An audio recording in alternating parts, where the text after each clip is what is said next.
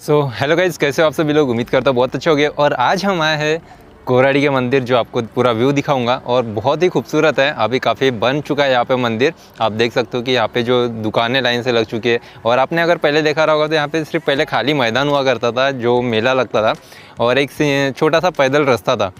हालाँकि गाड़ियाँ भी आ सकती थी बट छोटा सा ऐसी एक रास्ता था और मंदिर जो है उधर में, लेकिन इसको काफ़ी बड़ा परिसर बनाया गया और देखने में भी काफ़ी अच्छा लगता है और टूरिज़्म के हिसाब से भी इसको बनाया गया है और महाराष्ट्र का एक बेस्ट प्लेस टेंपल में से इसको जो है इतना अच्छा तरीके से बनाया जा रहा है। तो जो भी इन्फॉर्मेशन है बेसिक मैं आपको देने की कोशिश करूँगा और कुछ आपको पूरा व्यू भी दिखाऊँगा। तो देखते हैं पूरा मंदिर का परिसर और पूरा इन्जॉय करते हैं।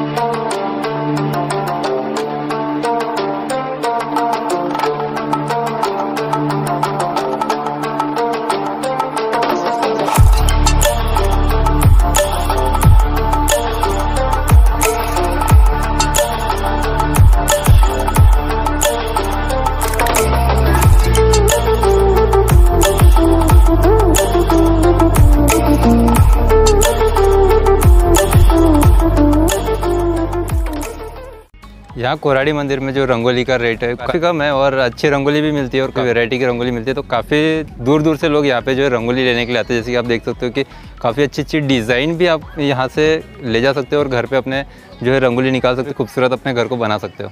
तो और भी हम अच्छे अच्छे प्लेस देखेंगे और आगे चलते हैं।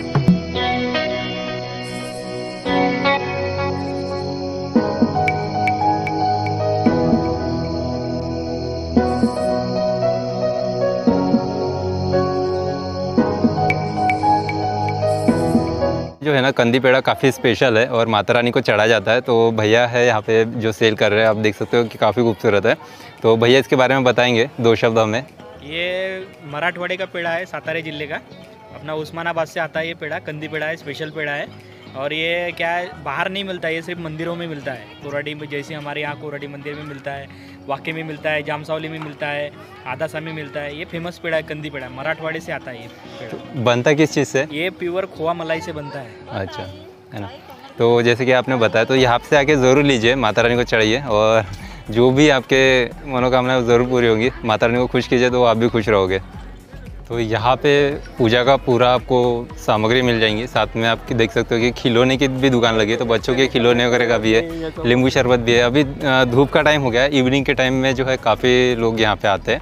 और संडे के दिन काफ़ी लोग आते हैं, जिस दिन छुट्टी का दिन होता है। तो अभी छुट्टी का दिन नहीं है तो फिर भी काफ़ी लोग कम है यहाँ पर और वैसे भी कोरोना चल रहा है तो उसकी वजह से भी कम है। तो आप देख सकते हो काफ़ी अच्छा है और काफ़ी सारे दुकानें जो है खुल चुके हैं।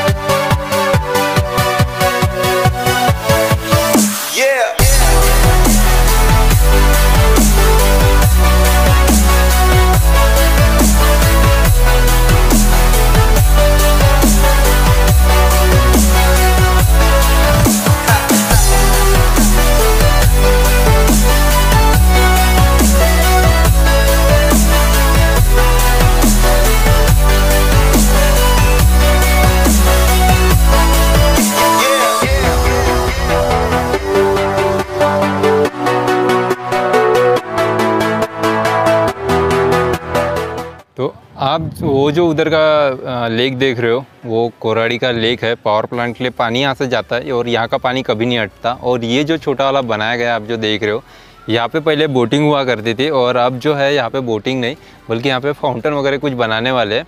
तो उसके लिए जो आप देख सकते हो कि इसको पूरा बाउंड्री वॉल किया गया है कंक्रीट से, और इसके नीचे में भी जो है कंक्रीट किया गया लेकिन आधा कुछ हुआ है काम और पानी जो है बरसात में भर गया है। तो अभी उधर में आप देख सकते हो कि उधर में पंप लगा हुआ है, जो पानी खाली कर रहा है और क्रेन लगी हुई है, जो ऐसा फुटपाथ बना रही है किनारे में। तो यहाँ पे भी फाउंटेन लगेगा और बहुत ही अमेजिंग बन रहा है। काफ़ी बड़े लेवल का काम है ये भी। इसके लिए अभी काफ़ी टाइम भी लग रहा है। तो बहुत अच्छा होगा। ये जो हॉल देख रहे हो, ये महाप्रसाद वितरण जब करते हैं यहाँ पे, किसी भी दिन त्यौहार में हो गया या नवरात्रि में हो गया, या फिर कोई अगर अपने तरफ़ से महाप्रसाद यहाँ पे देना चाहता है तो यहाँ पे बैठ के खाने की व्यवस्था की गई है।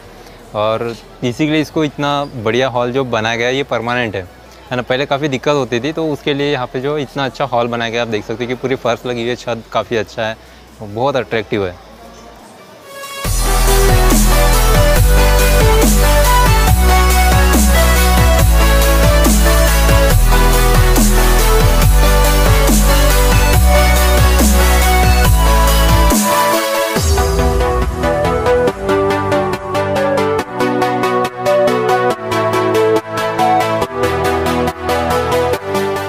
ये जो आप होटल देख रहे हो, ये मंदिर की तरफ़ का है और काफ़ी अच्छा होटल है और यहाँ पे आपको साउथ इंडियन और आइसक्रीम और कोल्ड ड्रिंक्स वगैरह सारी चीज़ें मिल जाएँगी। तो आपको बाहर से लाने की ज़रूरत नहीं है। यहाँ पे व्यवस्था की गई है और काफ़ी अच्छा है, बहुत अच्छा प्लेस है और रेट वगैरह रिजनेबल ही है। जो बाहर से आपको मिलेगा, वही रेट में यहाँ पे भी आपको अवेलेबल मिलेगा। तो आपको बाहर से मत लाइए, यहाँ पर आइए और यहाँ पे फुल इंजॉय कीजिए।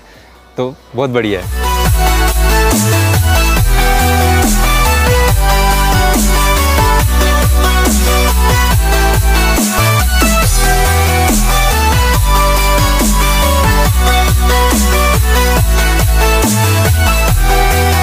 तो ये जो आप कंस्ट्रक्शन देख रहे हो, यहाँ पे बहुत सारी चीज़ें नई नई बन रही है। अभी और दो साल और लगेगा यहाँ पे कंप्लीट होने के लिए।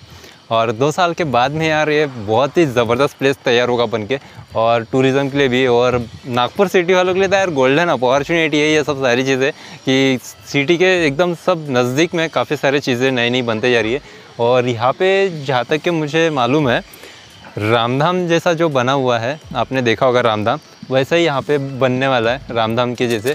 और इधर में भी कंस्ट्रक्शन का काम चालू है, आपको मैं दिखा रहा हूँ। और उसके पीछे में जो है ना, वो फाइव स्टार शायद होटल है। I am not sure but hotel इतना मुझे पता है, कितने स्टार है कंफर्म नहीं। तो काफ़ी अच्छा होटल है जो बाहर से टूरिज़्म यहाँ पे आएँगे, नागपुर सिटी में, इस मंदिर में। तो वो लोग यहाँ पे रुक सकते हैं, उसके लिए। और यहाँ पे जो आप देखोगे तो एक पार्क भी दिया हुआ है गार्डन है वहाँ पे। तो गार्डन भी आपको दिखाते हैं।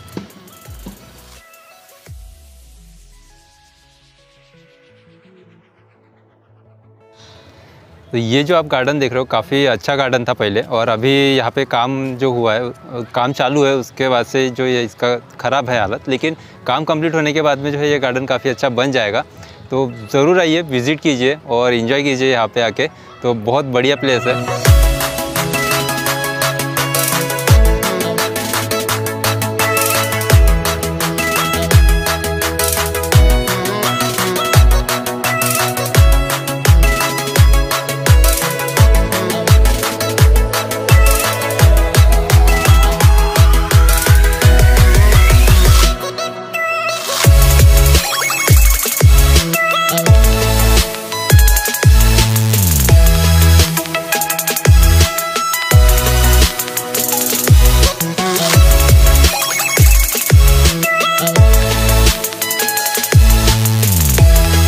जैसे कि आप देख रहे हो, काफ़ी खूबसूरत है और ये बहुत ही मेहनत से बन रहा है यार मंदिर, क्योंकि इसको लगभग दो साल तो हो ही गए जहाँ तक कि मुझे पता है। और अभी और दो साल और लगेगा इसको, काम को कंप्लीट होने में। और आप देख सकते हो कि ये जो संगमरमर के जो पत्थर है, काफ़ी ज़बरदस्त तरीके से बन रहे हैं ऊपर में, आप देख सकते हो। अभी भी काम चालू है इसका। ये मेन गेट है, मंदिर का मेन गेट है और पीछे का भी एक गेट है। तो ये मेन गेट है और यहाँ से अगर आप देखोगे ना तो जो मंदिर का आपको सीधा जो द्वार दिख रहा है, वो वहाँ से देवी के दर्शन यहाँ से यानी हो जाते हैं। कहने का मतलब ये है कि यहाँ से देवी दिखती है और डायरेक्ट आपको दर्शन यहाँ से भी हो जाते हैं और वहाँ तक के जा सकते हैं हम लोग। बट अंदर में वीडियो शूट लेना मना है तो रूल्स को फॉलो हम करते हैं। ठीक है तो मैं आपको यहाँ से दिखा रहा हूँ बाहर से व्यू तो अगर आपको मंदिर के दर्शन करना है तो काफ़ी सारे और भी वीडियोज़ है यूट्यूब पर आप देख सकते हो, है ना? और तो मैं कहूँगा वीडियो देखने से अच्छा है कि यहाँ पर आइए तो ज़्यादा बेटर है है ना? क्योंकि वीडियो देखने में और लाइव वहाँ तक के जाने में और देखने में एक अलग ही फीलिंग है और देवी के दर्शन मंदिर में जाने के बाद ही होते हैं राइट मैं यहाँ पे दिखा दूँगा तो मज़ा नहीं आएगा, है ना? तो आपको मैंने मंदिर का तो परिसर पूरा आपको दिखाई दिया तो अब आइए यहाँ पे विज़िट कीजिए और इन्जॉय कीजिए, बहुत ही खूबसूरत है।